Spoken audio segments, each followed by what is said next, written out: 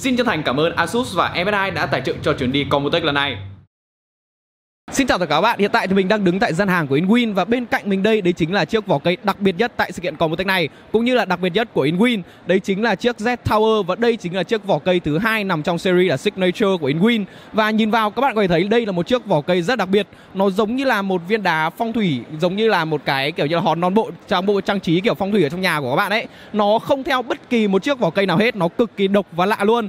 Và về thiết kế thì toàn bộ phần khung vỏ này nó đều làm bằng nhôm và nó chỉ có nhôm thôi. Đây là nhôm hoàn toàn luôn. Thế nên là trọng lượng của nó rất là lớn nó là 37 cân cơ. Thế là mức giá của nó bởi vì đây là dòng signature thế nên là mức giá của nó không hề rẻ đâu. Ở bên nước ngoài theo như Inwin thì nó có giá là 4.500 đô và về đến Việt Nam mình đoán chắc là phải tầm trên 1.000 đô à, trên 100 triệu cơ. Và đây nó thiết kế là phong cách hở thế nên là bụi bặm thì chắc chắn là các bạn không, sẽ không thể nào mà tránh được rồi. Và đây sẽ là điều các bạn phải chấp nhận khi mà có một chiếc góc trước vào cây hở như thế này. Và nó cũng hở giống như những chiếc ờ, uh, D-frame, H-frame của Enwin trước đây. Và nhìn vào thì các bạn có thể sâu hết toàn bộ linh kiện ở bên trong ra. Rồi nhìn chiếc vỏ cây, nó giống như là vật trang trí luôn. Mình khẳng định luôn, đây là một vật trang trí chứ không phải là một chiếc vỏ cây nữa.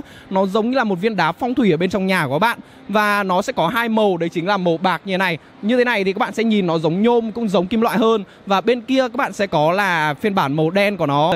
Nó giống sứ hơn là giống nhôm và ở đây với khi các bạn mua chiếc vỏ cây này thì nó sẽ giới hạn là 200 chiếc. Và đây chính là chiếc được làm riêng cho sự kiện của Computech 2018 Chỉ có 200 chiếc thôi Thế nên là mình đoán là vẫn sẽ có một chiếc nào đấy về Việt Nam nhưng mà ai mua thì mình vẫn chưa biết.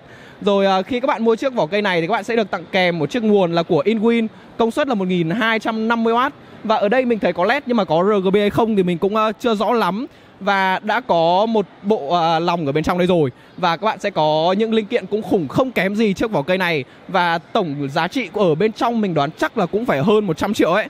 Đây chúng ta sẽ có bo máy chủ RAM PS6 của Asus này. Rồi bên dưới là vi xử lý gì thì uh, mình không rõ và cặp RAM, chúng ta sẽ có RAM GSQ chip điện Z RGB Cạc ở đây là 1080 Ti và toàn bộ hệ thống tản nhiệt nước ở bên trên này sẽ là sử dụng hệ thống tản nhiệt nước của EK và quạt tản nhiệt sẽ không phải của EK đâu mà là của Inwin bởi vì dù sao thì đây cũng toàn là đồ của Inwin thôi. Và đây mình giới thiệu cho các bạn một chiếc vỏ cây quá là khủng của Inwin Có thể nói là khủng nhất hiện tại và không có một chiếc vỏ cây nào có thể khủng hơn được nữa. Và các bạn, ý kiến các bạn như nào về chiếc vỏ cây này? Hãy comment phía bên dưới nhá.